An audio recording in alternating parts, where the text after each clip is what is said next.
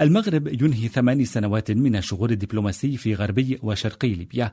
ميدل إيست أونلاين يستهل تحت هذا العنوان كاتبا توفق الرباط في إنجاح مباحثات لجنة 6 زائد 6 الليبية ينضاف إلى نجاحاتها السابقة كما يعزز من تجربة المملكة في تسوية النزاعات وحلحلة الملفات الشائكة بالاعتماد على دبلوماسية هادئة.